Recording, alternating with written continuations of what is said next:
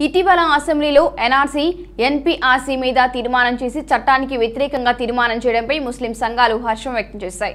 ఈ సందర్భంగా ముఖ్యమంత్రి జగన్కు కృతజ్ఞతలు తెలిపారు. నెల్లూరు జిల్లా కావలిలో పలువురు నేతలు మీడియా సమావేశంలో మాట్లాడారు.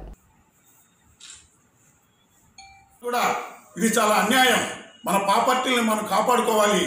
మేము సైతం మీ వెంట ఉంటాం. మన పాపర్టీని మనం కాపాడుకుంటామని చెప్పి వారు ముందుకొచ్చారు. వారికి మరొక్కసారి ధన్యవాదాలు చేస్తూ ఈ కార్యక్రమంలో పాల్గొన్న మా పెద్దలందరికీ కూడా అందరికీ సలాములు. సమీభాయ్ దీని గురించి ఈ భూ ఆక్రమణల గురించి భూ కబ్జాల గురించి ఇక్కడ జరిగినటువంటి అన్యాయాల అక్రమాల గురించి నాలుగు మాటలు మాట్లాడవలసిందిగా కోరుతున్నాను.